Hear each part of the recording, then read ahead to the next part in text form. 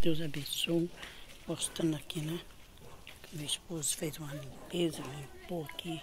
Olha pra vocês verem, né? Glaviola, né? Aqui é um pé de graviola. Pé de pimenta. Eva doce, né?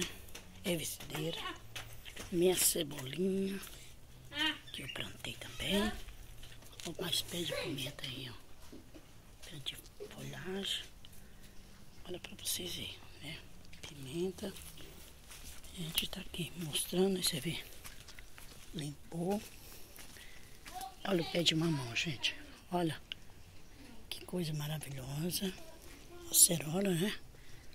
Ó, tem bastante cerola ali, ó. Que Deus venha nos abençoar. Olha o pé de limão. Tá vendo o pé de limão?